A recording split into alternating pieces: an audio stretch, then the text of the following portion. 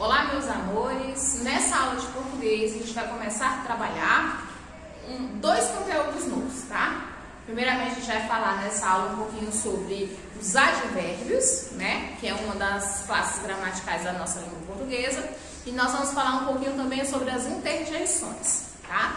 Então, primeiramente, lá no livro de vocês, esse conteúdo se encontra na página de número 145 até a página de número 147, tá? Que já é a página do conteúdo e as atividades também, tá? Na gramática, vai estar na página de número 101 até a página de número 103, é, os textos explicativos, né? E também as atividades.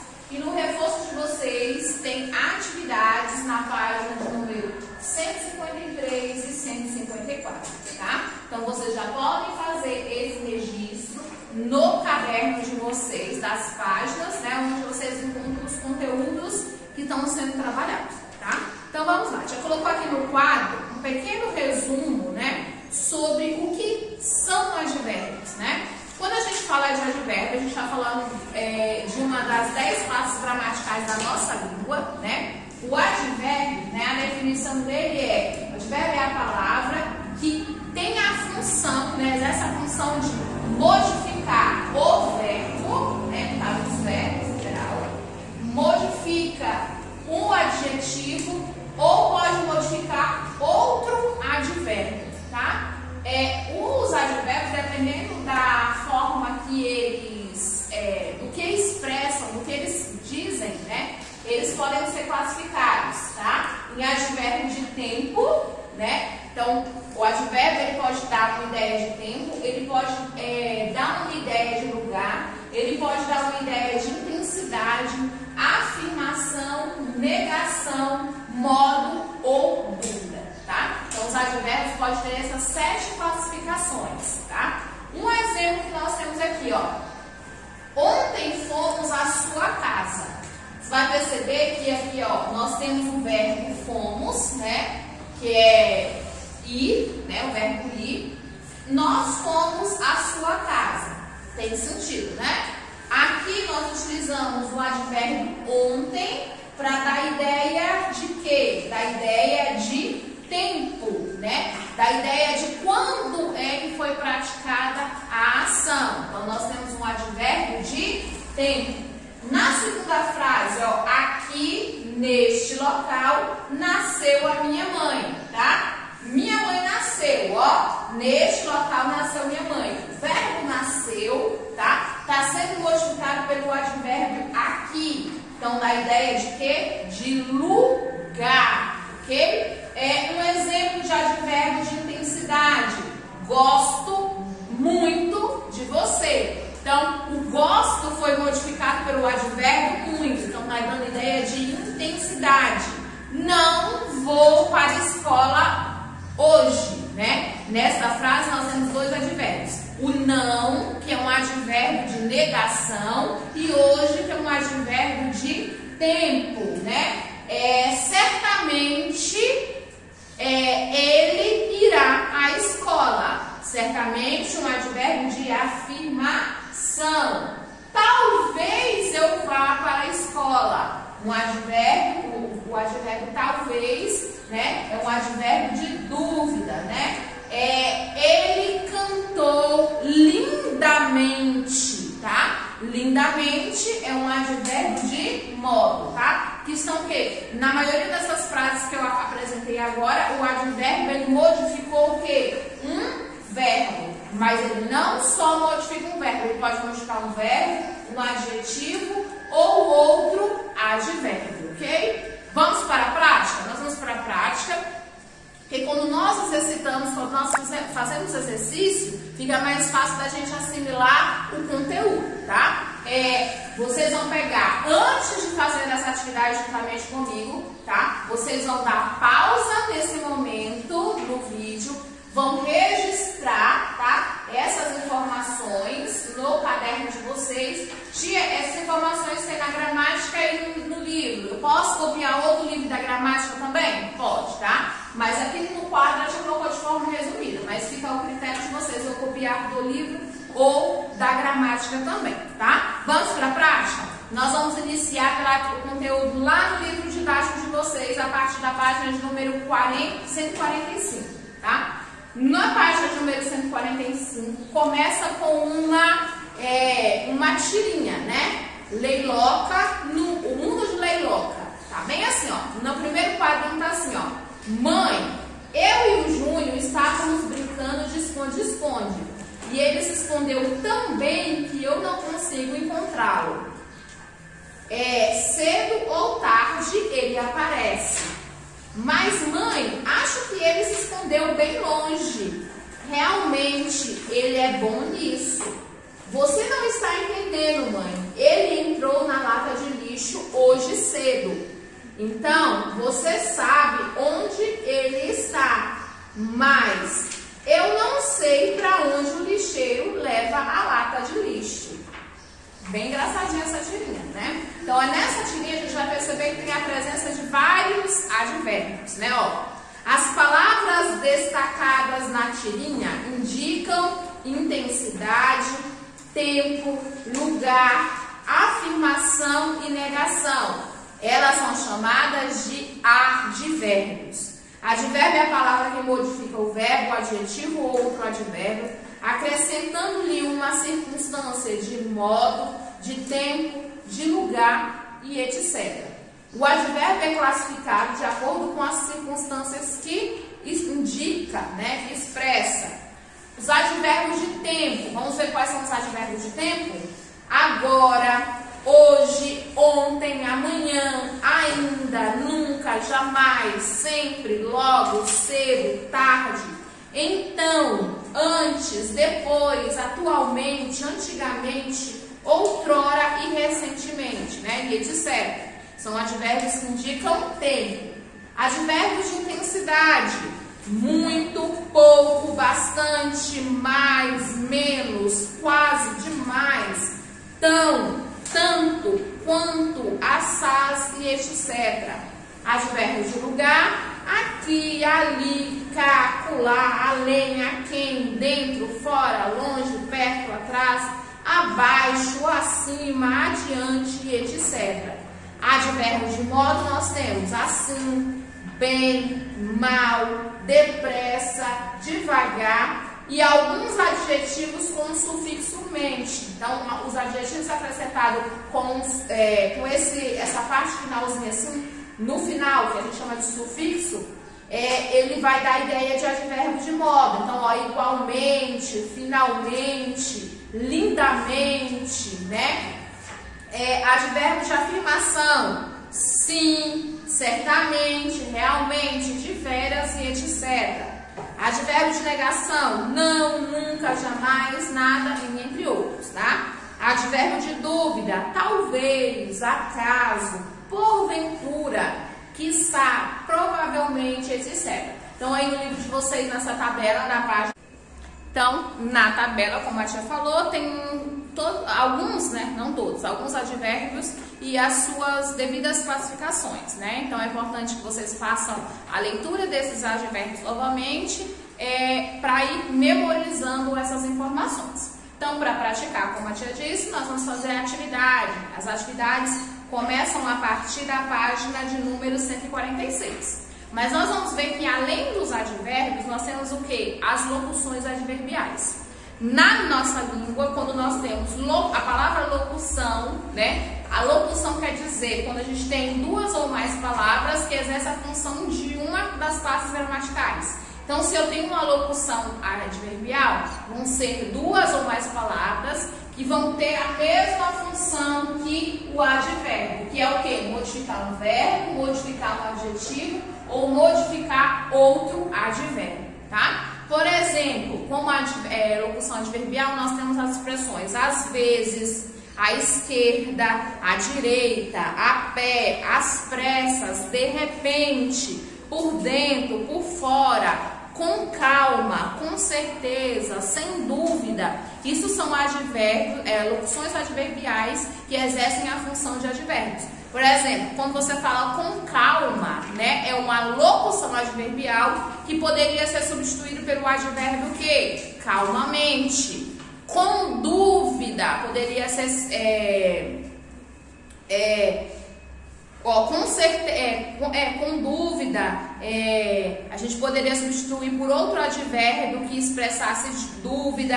É, a gente pode por dentro, a gente poderia substituir por outro advérbio que indica que indica lugar, né? Então, mesmo sendo uma locução é, duas palavras ou mais, vai ter a mesma função que um advérbio, tá? Expressando tempo, lugar, é, é, intensidade, modo, negação, afirmação e assim por diante, tá?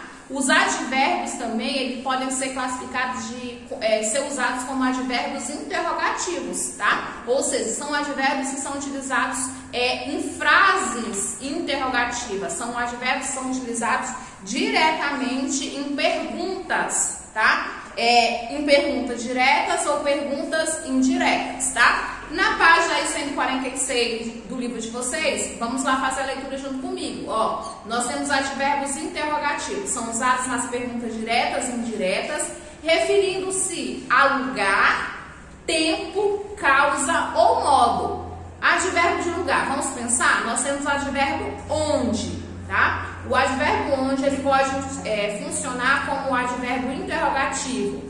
Em pergunta direta, por exemplo, onde ele estava, tá? É um advérbio de lugar que é utilizado numa frase direta. Ou pode ser uma pergunta indireta. Eu perguntei onde ele estava. Na pergunta indireta, gente, é quando não tem, a gente está fazendo questionamento, mas não tem um ponto de interrogação, tá? Advérbio de tempo, quando, né? Quando iria encontrá-los? Eu perguntei quando ele iria encontrá-los, tá? Nós temos perguntas, uma pergunta direta e uma pergunta indireta. Advérbio de causa. Por que choras? Eu perguntei por que choras. Advérbio de modo, como? Como conseguiu isto? Eu perguntei como conseguiu isso, tá? Então, quando eles estão fazendo uma pergunta direta ou indireta, os advérbios são chamados de advérbios interrogativos. Agora vamos sim para a prática, né? Questão de número 1 da página 146, não esqueçam de colocar a data. Nós temos assim, ó, classifique os advérbios destacados nas frases abaixo, né? Nós temos, na primeira frase está assim, ó, João saiu cedo de casa. O advérbio que está destacado é cedo, né? Quando eu falo a palavra cedo, ela vai me dar uma ideia de quê? Ela vai me dar ideia de tempo, ela vai me dar ideia de lugar, ela vai me dar ideia de intensidade, afirmação, negação, modo ou dúvida. Cedo dá ideia de quê? De tempo, né? é, não, ele não só saiu, ele poderia ter falado que ele saiu de casa, mas ele saiu o quê? Cedo de casa. Então, cedo está se referindo ao verbo sair. Então, vamos escrever a classificação, né? Então, vai ficar advérbio de tempo. Escreveram? Vamos para a próxima. Deixa eu apagar aqui para que eu possa utilizar o espaço do quadro para registrar as respostas juntamente com vocês. Então, questão de número 1 um na letra A ficou advérbio de tempo, né? Na letra B, nós temos a seguinte frase: Mal terminou de almoçar, foi jogar bola. Mal, né? Mal com L, né? É, tá se referindo ao quê? é ao é, verbo terminar, né? Mal terminou de almoçar. Terminou de almoçar. Então, na verdade, nós temos uma locução verbal, né? É isso aí, tá, a palavra mal está indicando o quê? O modo, né? A forma que ele é, estava almoçando, a forma que ele terminou de almoçar. Ele mal terminou, porque ele mal não concluiu de almoçar foi rapidão e já foi jogar bola, né? Então, o mal, ele é um advérbio, um advérbio de modo. Vamos continuar? Letra C. Ela foi ontem à casa de Dona Eulália. Então, o advérbio destacado aí é ontem. Ontem dá ideia de quê? Ideia de tempo. Então eu tenho um advérbio de tempo. Letra D, nós temos assim, ó. Seus brinquedos estão guardados dentro da caixa. Dentro da ideia de quê? Da ideia de lugar, né? De posição. Então eu tenho um advérbio, advérbio de lugar. Bem simples, né? Vamos prosseguir na segunda questão? Na segunda questão, né, tá o enunciado da seguinte forma: assinale a alternativa em que o advérbio tem a classificação diferente dos demais, tá? Então, tem os advérbios destacados e nós vamos ver se eles têm qual é aquele que não tem a mesma classificação que os outros. Voltaste depressa do passeio. Nós temos o advérbio depressa. Depressa dá ideia de quê, meus amores? Vamos, olha lá na tabelinha de vocês. Quando a gente fala depressa, dá ideia de quê? Da ideia de modo. Então, aí nessa primeira frase eu tenho um advérbio de modo. Foi embora calmamente, sem despertar curiosidade. Calmamente também dá ideia de quê? De modo, né? A maneira que ela foi, né? É possível compreender tranquilamente o que aconteceu. Tranquilamente também dá ideia de quê? De modo, né? Depois, o assunto que venho tratar é bastante importante. Bastante. Tá dando ideia de modo? Não. Já bastante tá dando ideia de quê? De intensidade. Então, uma alternativa que não é igual às demais, vai ser a última, né? Porque aqui, ó, na primeira, na segunda e na terceira frase, nós temos o que? Advérbios de modo. E já na última frase, nós temos um advérbio de intensidade. Então, a resposta correta vai ser a última, né? A quarta frase. Vamos prosseguir? Agora nós vamos lá para a página de número 147. Na parte número 147, nós temos a questão de número 3. Na questão de número 3 está assim, ó, reescreva as frases, substituindo a locução adverbial por um advérbio correspondente. Lembra que a tia falou para vocês que a locução adverbial é duas ou mais palavras que funciona como um advérbio. Letra A, Fabiana saiu com pressa. Aí é o exemplo, né? Com pressa é a locução adverbial. Nós vamos trocar com pressa pelo advérbio que? Apressadamente, que é um advérbio de modo, né? Então vamos fazer agora a letra B e a letra C. A tartaruga é um animal que anda muito devagar. Muito devagar vai ser o que? A locução adverbial, que está indicando o que? O modo como a tartaruga anda, né? Então nós vamos colocar aí, ó, como é que vai ficar? Número 3, letra B, vai ficar a tartaruga,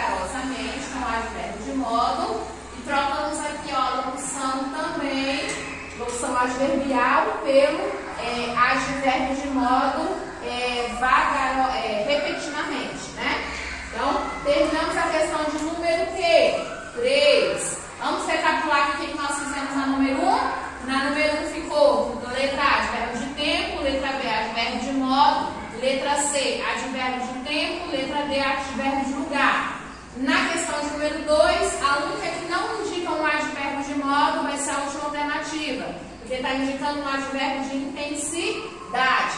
Na questão de número 3, nós substituímos o, a locução adverbial por advérbios correspondentes. Tem ter a mesma classificação, a mesma ideia, tá? E para concluir, nós vamos fazer a questão de número 4. Na questão de número 4, nós temos assim, ó, circule os advérbios e marque a alternativa correta em relação à circunstância que eles indicam, né? A, a alternativa que está dando a classificação desse advérbio. Na letra A, nós temos assim, ó, talvez eu chegue antes do combinado. Qual é o advérbio que nós temos aí? A palavra talvez. O que, é que vocês vão fazer com a palavra talvez? Vocês vão circular. Talvez está dando ideia de intensidade ou está dando ideia de dúvida? Talvez expressa uma dúvida. Letra B. A loja que você procura é muito importante no mercado. Vamos lá? Letra B.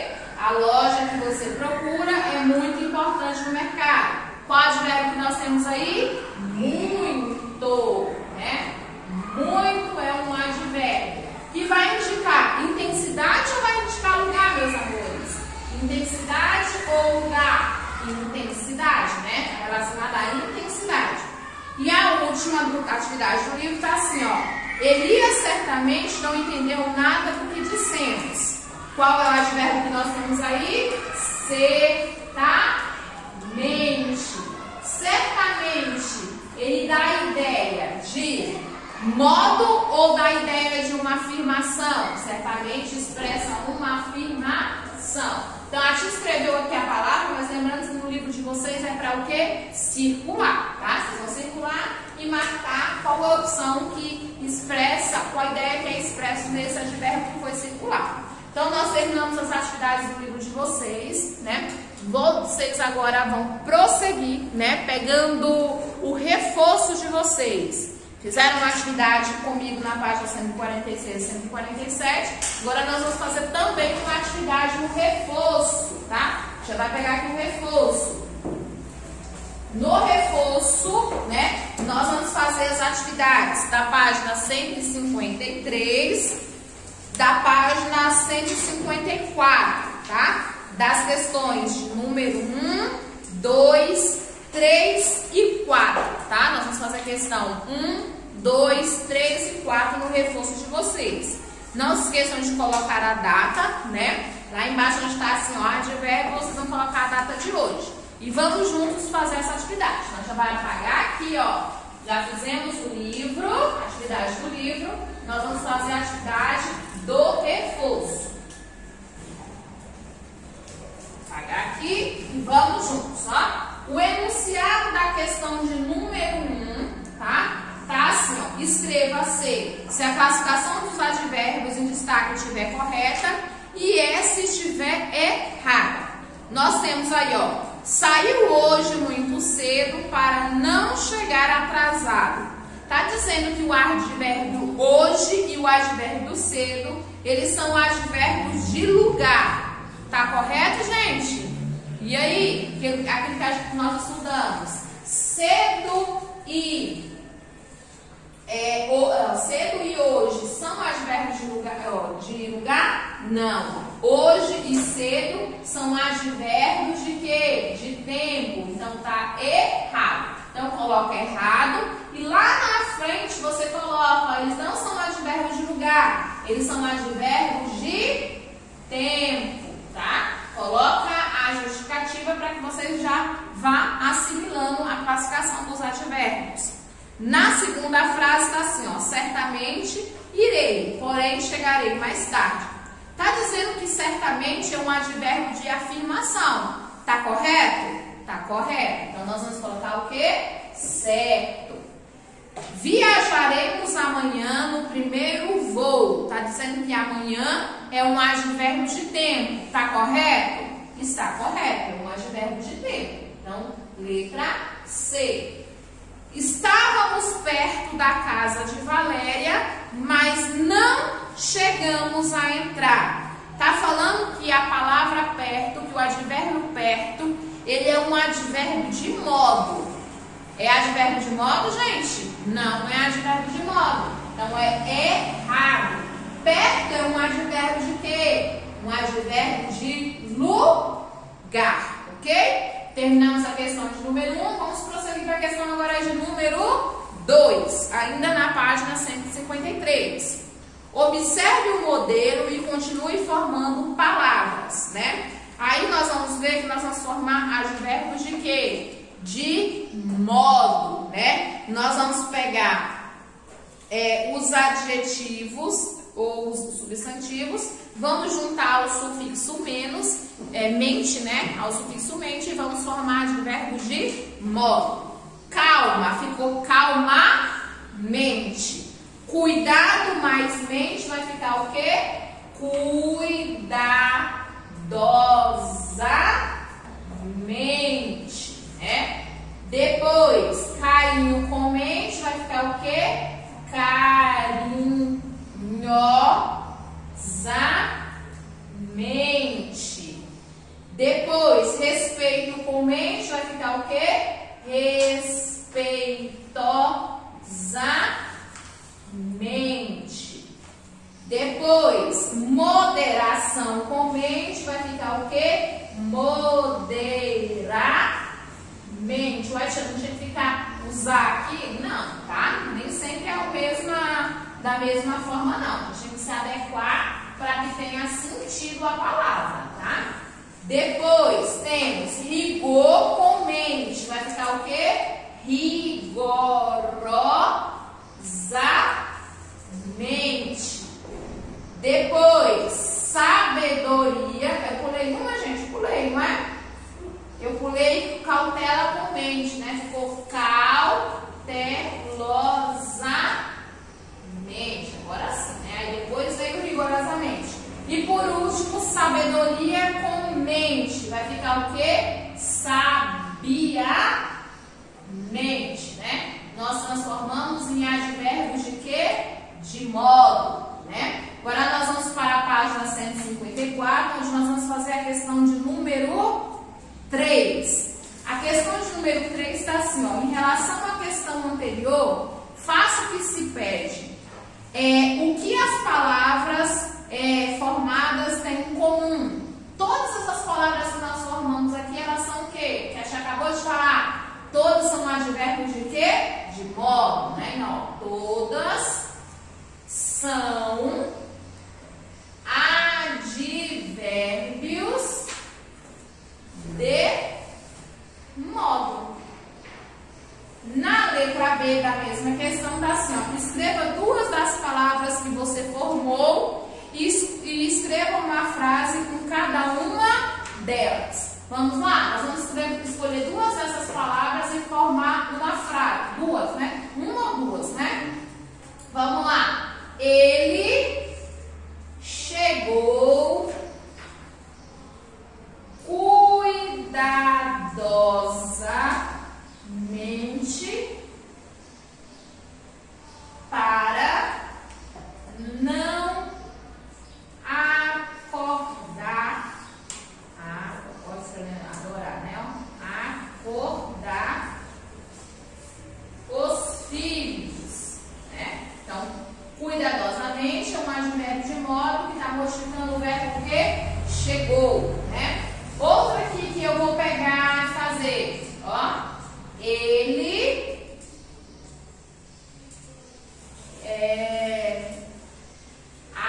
Jesus.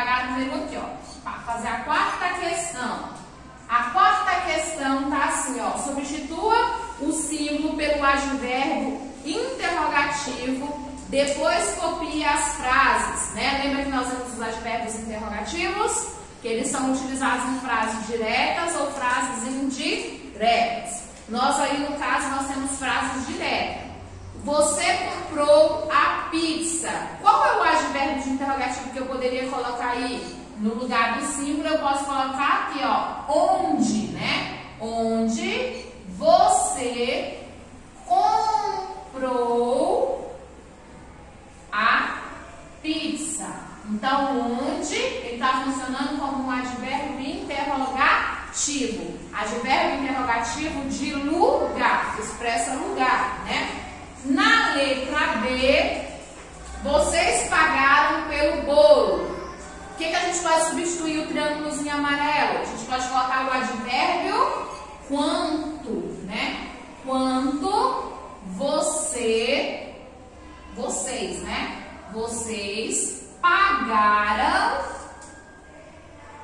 pelo bolo. Novamente, nós temos uma pergunta direta. Então, nós temos um advérbio interrogativo. E a letra C, que é a última letra dessa questão, está assim, ó. Terá conseguido como vencer a corrida? A gente pode substituir pelo advérbio como. Como terá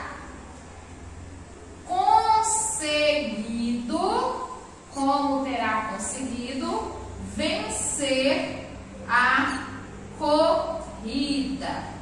Ok? Então, nós concluímos as atividades propostas no reforço de vocês. Então, fizemos a atividade do livro, fizemos a atividade do reforço e para que vocês possam exercitar, vocês vão fazer como tarefinha de casa as atividades na gramática, na página 101, 102 e 103, tá? 101, 102 e 103 é a tarefinha que vocês vão fazer em casa, como tarefa de casa, para exercitar o que nós trabalhamos na aula de hoje. Então, beijo, meus amores, até a próxima aula. A atividade da gramática já vai postar é, o gabarito para vocês, ok? Beijos!